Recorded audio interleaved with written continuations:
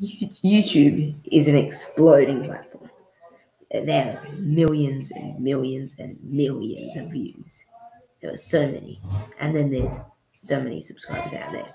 Over a billion people use YouTube monthly. That's a lot. And there's over 50 million YouTube channels. That's far more than any of the other social sites. YouTube has been around since 2005. And of course, YouTube is launched a design profession. YouTubers. So, who's your favorite YouTuber? Anyway, wasn't me. Don't mind if it isn't. But anyway, so I'm not viral yet, but maybe I will be one day. Hopefully. Anyway, so one very famous YouTuber is called Mr. Beast. And the way that he got famous was by counting to 100,000. I know, right? As it going one, two, three, four, five. You get the idea. Yeah. So I'm not gonna do that because that would take so long. Well, anyway, guys.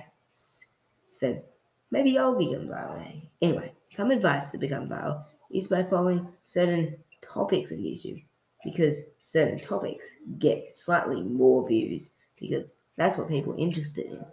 A lot of stuff like entertainment gets a lot of views. Like for instance, Mr. Beast's entertainment. He did all sorts of interesting things like and he gives away millions of dollars. Imagine if I gave away millions of dollars in one video. How much this hat would sell for?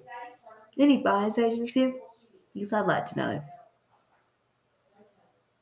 Anyway, YouTube was started in 2005, and but and the first YouTuber was called Jawed Karim, and his video has got hundreds. His first video has got hundreds of millions of views, and only goes for 18 seconds.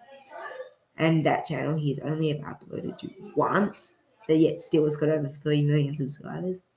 I know, cool lad. Hopefully one day I'll have that many, but you never know. Maybe you'll become viral. We'll have to wait and see.